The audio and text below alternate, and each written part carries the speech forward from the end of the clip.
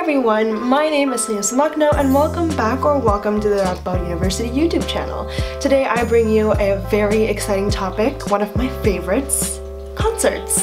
So, if you didn't already know, I study arts and culture and a lot of arts and culture focuses on music. We actually even have a assignment where we have to go to a concert and analyze the experience musically industrially? I don't know, like the capitalist business side of it um, for one of our courses, America on Record.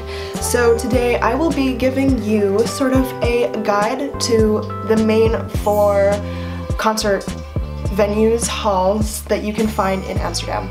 So I will be talking about Melkweg, which translates to Milky Way, and I will be talking about AFAS, um, or AFAS Live, and I'm gonna talk about Paradiso, and I will be talking about the Ziggo Dome, or like the Ziggo. I don't really know how the Dutch people pronounce it, but I'm gonna call it Ziggo for the sake of this video.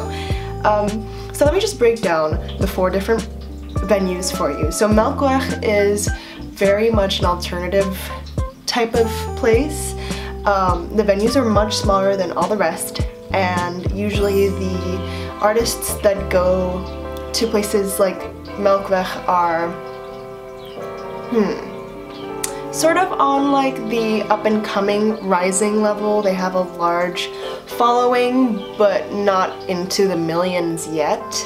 They do everything from pop to rap to rock, so you will definitely get your taste of your favorite up-and-coming or indie um, act. And then we have Paradiso.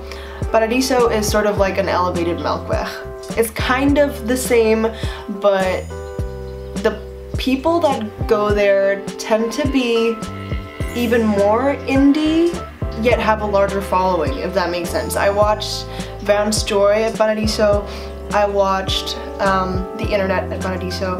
And the venue is great because I think it used to be a church or a chapel of some sorts. And there is um what do you call it? Glass stained what? Yes stained glass. Stained glass windows at the back of the stage. So sometimes the artists will like put light to it and then it'll illuminate them from behind like a glowing halo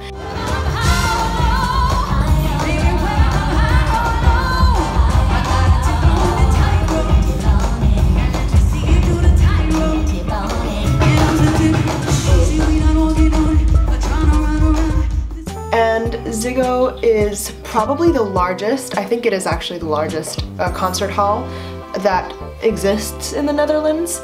And Ziggo usually has the huge stars, like classics, people like John Mayer, people like, I went to Harry Styles.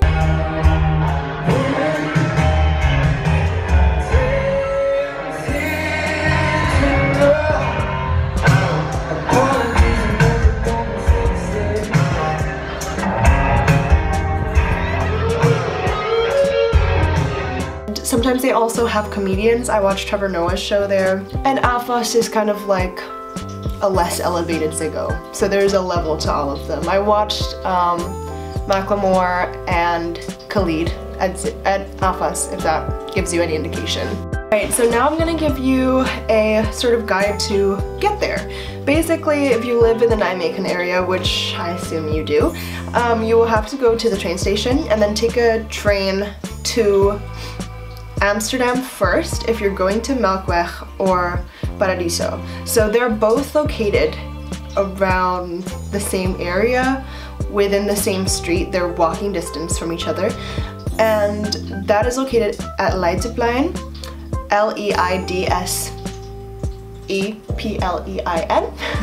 but if you type in Melkweg or Paradiso on your 9292 app, which you should have on your phone, that's just a general um, you should be able to find. So you will go to Amsterdam Central first and then you will take a tram to Leidseplein.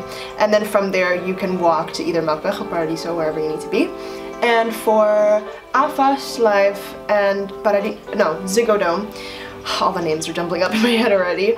Those two are also within walking distance from each other um, and you will be able to take the train that goes to Amsterdam Central just straight to the Amsterdam Arena. Um, if you type in Ziggo or AFAS, it should also lead you there.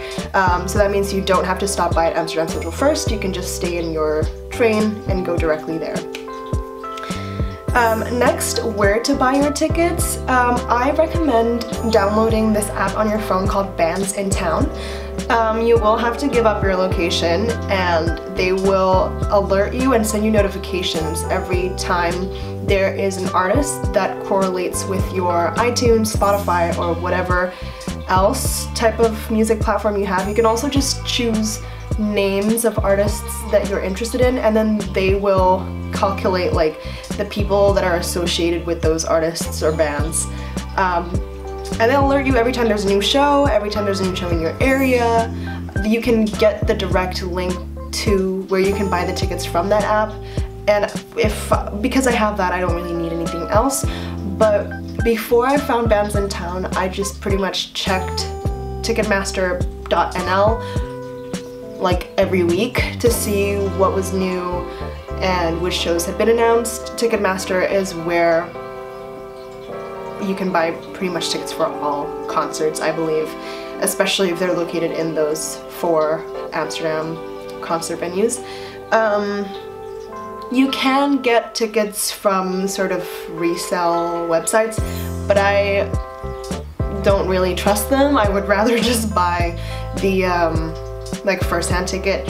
And it's also important to note that certain Ticketmaster will announce or write when the tickets will go on sale. There's an exact time uh, and an exact date. So you want to be there before and you want to keep refreshing so you're in the line um, to buy those tickets because otherwise if it's a high demand artist or band then it will sell out really fast. So let's talk about when you need to be there. I feel like there's this rule with concerts that you want to be there at least an hour early or half an hour early. Um, I would say that you need to be aware of who your act um, sort of focuses on, like who their fan base are. Um, for example, when I watched Billie Eilish and I watched Shared Melkweg, um, that line was the longest line that I'd ever had to wait in. It was kind of horrifying to be honest. It was so long and Melkweg doesn't have it has a very short like in front of the venue type of waiting line but you basically have to wait on the side of the street and I wait waited there for a very long time um, so if it's one of those acts that you know has a large following then you may want to be careful about that especially at places like Paradiso and Melkweg. However, because Paradiso tends to sort of go with the more alternative um, acts, I found that their audience is much more relaxed and they usually just come like 10 minutes before the show anyway. Every single time I've gone to Paradiso I always end up in the very front because people come very late and I'm always early.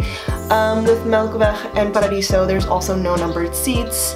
Um, Melkweg has like a second sort of flooring with railing but you have to stand up and I've never been up there so I don't know what the view is like but in my opinion if you can get a good enough spot then it should be fine. Should be fine downstairs at least. Um, and in Paradiso, yeah I would also recommend standing downstairs but there are seats upstairs if you need them. Um, you can also get drinks at both places and you there's like a bar I do believe with Melkweg you need to get like a wristband if you want alcoholic drinks. I don't know how that works because I've never ordered one at Melkweg. Um, but they have all kinds of sodas as well if that's not your choice of beverage. Um, and then at Ziggo Dome and at AFAS, so Ziggo Dome has numbered seats whereas AFAS does not. AFAS is sort of like a bigger paradiso. You can sit, but that's all the way in the back of the hall. So I recommend standing, um, if that's possible for you. And they do have the two, like the classic two screens where you can see the artist's face, I believe. Um, so it's not too bad there, even if it is such a huge venue. And with Ziggo Dome, they usually have a stage A and a stage B. Um, and they have like the larger sections that are more expensive, sit, like sitting on the floor and then sitting up that goes, you know, the seats that like slant upwards. Um, yeah, but they also have two screens and sometimes the artists even have like extra screens on the stage, but that's depending on the act. And at Ziggo Dome, it's also important to note that they have food, they have drinks and whatever, but you do have to pay with these mm, chips that you buy at like sort of an ATM machine but for chips. So I would recommend instead of bringing like cash, you just bring your card because then you can um, interchange it. And you can also, I believe, like give it back and then get your money back if you're not going to use it. But you can use it for at least two months. So if you have consecutive concerts, you can still bring those chips and then trade it in the next time you're there. It's also probably good to note because I always stress about dinner and usually concerts are after dinner. Um, at Leidseplein, where there's Melkweg and Paradiso, there are a lot of fast food restaurants and just sort of general normal Dutch cafes. Um, they have things like Burger King, McDonald's, pizza places, walk places. Down that road if you just go um, straight after coming out of the tram. Um, whereas at Ziggo or um, AFAS at the arena area, they have the more like actual restaurant restaurants where you can order full meals. Um, so if that's something you're interested in, you can also pre-eat outside. I would think it's probably cheaper anyway. Um, and since in Ziggo especially you have numbered seats, you don't really have to line up unless you're there for like a meet and greet. Um, you'll be fine because no one's gonna take your seat anyway since you have your tickets. Okay, I think that's pretty much it. Um, leave a comment down below if you have any more questions, but I hope you decide to try out concerts because they're the best. I feel like everybody already knows that. I don't need to give you that piece of wisdom. it's a universal piece of wisdom. And yeah, I don't know which one my favorite is. I always enjoy my time whenever I go to Melkweg, but Ziggo is sort of just a high quality high paid um, experience that is unlike any other. So yeah, it really doesn't matter which tier you go at, you're gonna have a great experience either way. And I wish you all the best on your future musical endeavors. And that's it from me. I'll see you in the next one. Bye!